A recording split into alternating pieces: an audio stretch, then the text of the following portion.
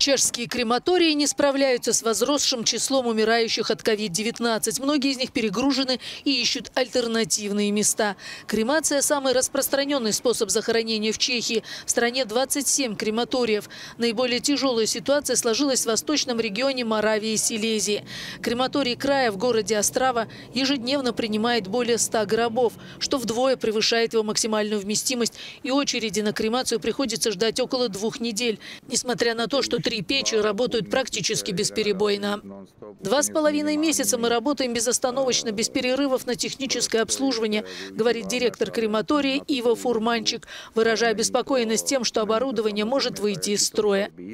С весенней волной пандемии Чехии удалось справиться, но осенью система здравоохранения рухнула. Похоронная служба столицы Праги пока работает в обычном режиме, но в Острове и Оломоуце у местных больниц установили грузовики с морозильными камерами для хранения тел.